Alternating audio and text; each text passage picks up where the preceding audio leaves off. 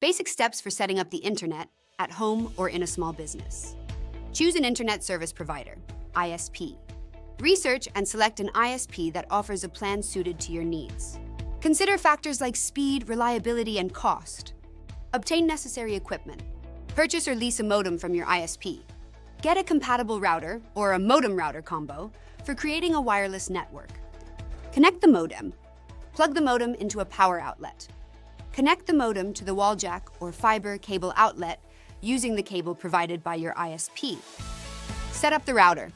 Connect the router to the modem using an Ethernet cable, usually into the WAN port on the router. Power on the router. Activate the internet connection. Follow the ISP's instructions to activate the service, often through a web portal or by calling their support line. Update the router's firmware if prompted during setup. Configure the network. Access the router's settings by typing its IP address into a browser, for example 192.168.1.1. Set a unique network name, SSID, and a strong Wi-Fi password. Use WPA3 or WPA2 encryption for security. Test the connection, connect a device to the network, and test the internet speed using an online tool. Troubleshoot any issues using the router or ISP support. Optimize the network. Place the router in a central, elevated location for better signal distribution. Avoid interference from other electronic devices like microwaves or cordless phones. Use a range extender if needed for larger spaces. Secure the network. Change the default admin username and password of the router. Enable a firewall and keep the router's firmware updated. Consider setting up a guest network for visitors. Connect devices. Connect all required devices, such as computers, smartphones, smart TVs, or printers, using Wi-Fi or Ethernet cables. Verify that each device has internet access. Follow us for more videos, and don't forget to subscribe. Hi, I'm Lillian. Join me as I take you on an exciting journey into the world of a network infrastructure engineer plays a critical role in designing, implementing, managing, and optimizing an organization's IT network. Their work ensures the seamless communication, connectivity, and security of all systems, devices, and data. Here's a breakdown of how they operate. Hi, I'm Vi. Join me as I take you on an exciting journey into the world of a network infrastructure engineer. Network design, assessment, analyze organizational requirements, including user needs, applications, and future scalability. Blueprint creation, design network layouts, including routers, switches, firewalls, VLANs, and wireless access points. Technology selection, choose suitable hardware, software, and configurations based on performance and cost effectiveness. 2. Implementation, hardware installation, deploy and configure network devices like routers, switches, and wireless access points. Software setup. Install and configure network management tools, monitoring systems, and security protocols. Connectivity. Establish reliable connections between internal systems, remote offices, and cloud services. Hi, I'm Jay. Join me as I take you on an exciting journey into the world of a network infrastructure engineer. Maintenance and troubleshooting. Monitoring. Use tools to track network performance, availability, and security. Issue resolution. Diagnose and fix connectivity issues, slow performance, or hardware failures. Updates. Regularly update firmware, software, and security patches to ensure optimal performance. 4. Security management. Access control, set up firewalls, VPNs, and user authentication to protect sensitive data. Threat response. Monitor for vulnerabilities and respond to breaches or threats promptly. Compliance. Ensure network security aligns with industry regulations and standards. 5. Optimization. Performance tuning. Analyze network traffic to optimize speed and reliability. Capacity planning. Upgrade hardware and configurations to accommodate growing organizational needs. Automation. Implement tools and scripts to simplify repetitive tasks like backups and configurations. 6. Collaboration. Cross-department coordination. Work with other IT teams to integrate systems and applications. Vendor management. Engage with suppliers for equipment procurement and technical support. Training. Provide guidance and training to IT staff and end users for effective network use. Key tools used. Hardware, routers, switches, wireless access points, and servers. Software, network monitoring tools, for example, SolarWinds PRTG, firewall software, and configuration management platforms. Protocols, TCP IP, DNS, DHCP, VLANs, and VPNs. Thank you once again for watching. Don't forget to subscribe for more videos. If you haven't checked out our other videos about networking, be sure to watch them now. We'd love to hear your thoughts. See you in the next video. Are you looking to become a network engineer or sharpen your skills in the field? You're in the right place. I'm here to guide you through some common interview questions and answers that every aspiring or experienced network engineer should know. Stay tuned and let's dive in. Technical questions.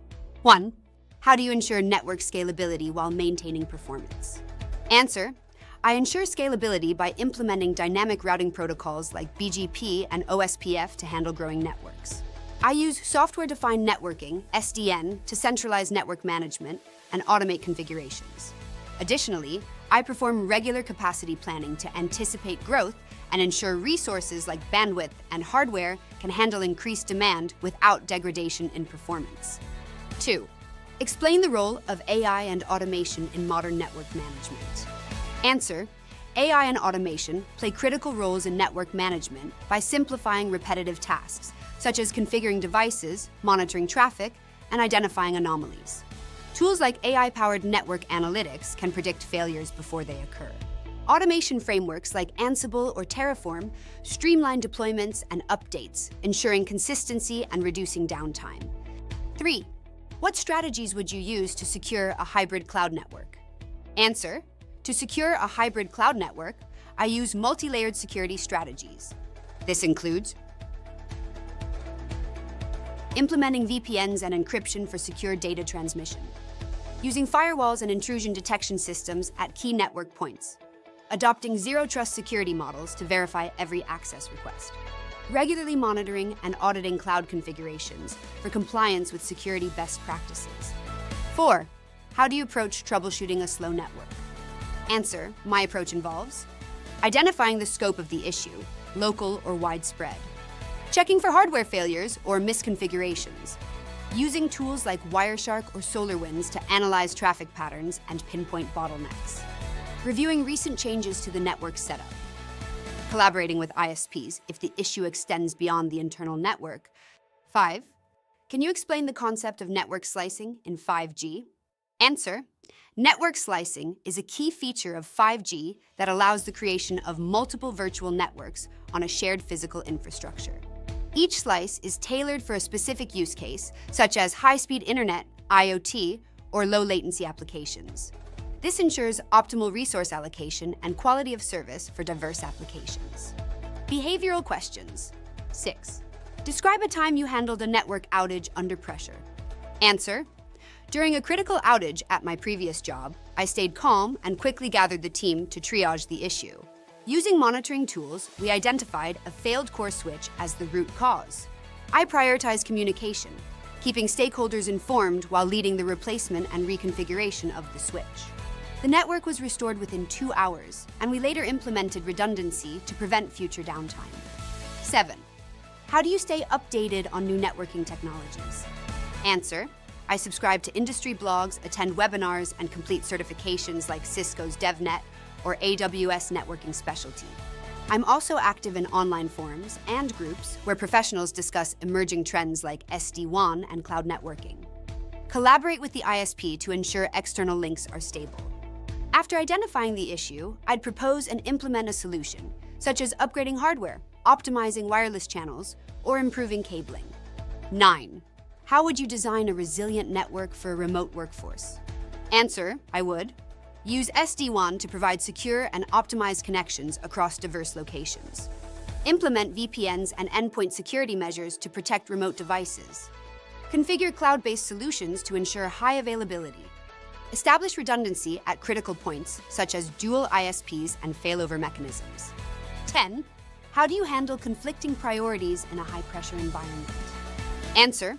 I prioritize tasks based on impact and urgency, ensuring that critical issues like outages are resolved first. I communicate clearly with stakeholders to align on expectations and use project management tools to track progress. If needed, I delegate tasks or seek additional resources to ensure deadlines are met. Dot. Thank you for being a part of our YouTube channel. Don't forget to like this video and hit the subscribe button to stay updated with our latest content. We'd love to hear your thoughts, so feel free to leave a comment below. Once again, Thanks for watching, and we'll see you in the next video.